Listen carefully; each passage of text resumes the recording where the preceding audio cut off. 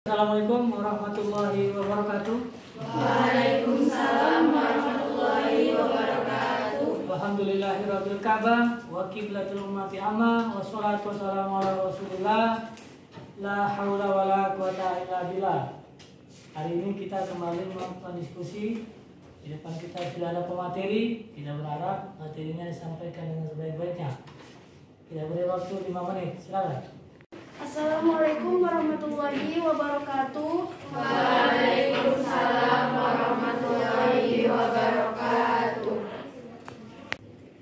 Alhamdulillahirabbil ka'bah wa qiblatil ummati amma wassalatu wassalamu ala Rasulillah la haula wala quwata illa billah.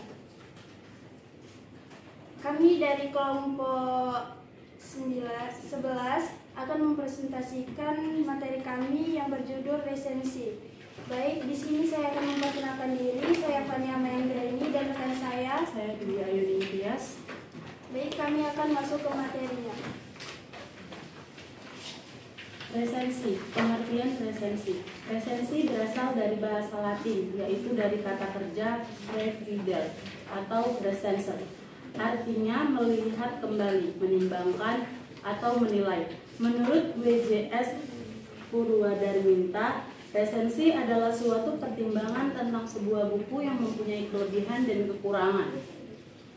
Menurut Yusrus Yusrusyana, resensi adalah suatu tulisan mengenai buku pengetahuan sastra yang mengisarkan dan menilai buku. Adapun menurut Panuti Sujiman, resensi adalah pembahasan penelitian yang pendek tentang suatu karya tulis.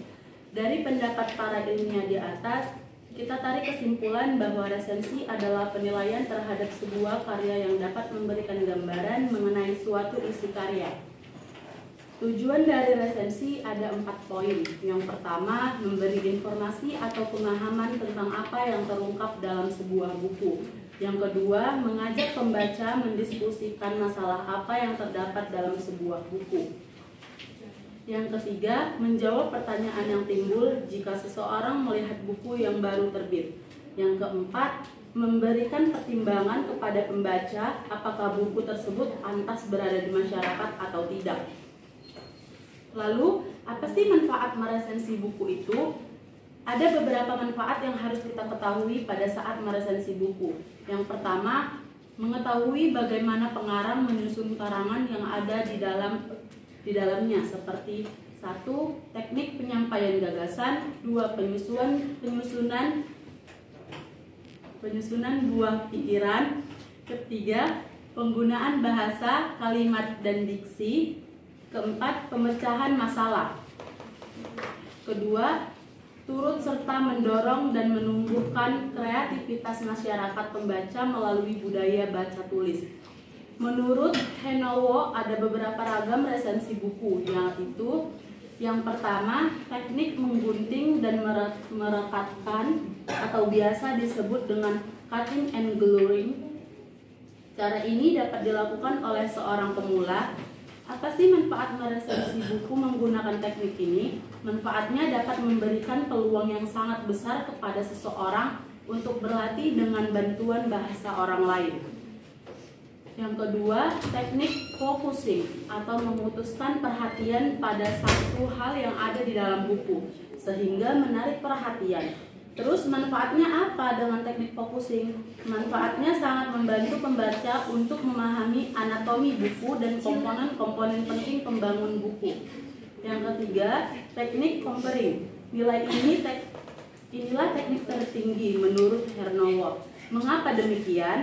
Sebab teknik sebelumnya akan memper, mempertu, mempertajam dan memuluskan pengguna teknik comparing. Teknik ketiga ini disebut dengan teknik membandingkan. Yang selanjutnya akan dijelaskan oleh rekan saya Fani Amai. Andre. Teknik menulis resensi. Sebelum kita meresensi sebuah buku, kita harus membaca dan memahami buku tersebut agar kita tahu kelebihan dan kekurangan buku tersebut. Dalam meresensi buku, ada beberapa unsur yang harus kita ketahui yaitu yang pertama, membuat judul resensi. Setiap buku pasti mempunyai judul, namun jika ingin meresensi buku, maka buatlah judul resensi yang menarik mungkin dan jangan menggunakan judul dalam buku. Tetapi usahakan judul tersebut tidak jauh berbeda dari judul buku tersebut. Contohnya judul bukunya agar bisa menangis karena Allah, penulis Mansur Abdul Hakim, Mafirah Pustaka 2006. Judul resensinya Indah Sebuah Tangisan Presensi Juniawa Suja Harian Analisa 16 Juni 2006 Yang kedua Menyusun data buku Apa saja sih yang harus disusun dalam data buku? Yang pertama itu judul buku jika judul buku itu hasil terjemahan Maka tuliskan judul buku asli buku itu Yang kedua pengarang atau jika hasil terjemahan tuliskan juga penerjemahnya.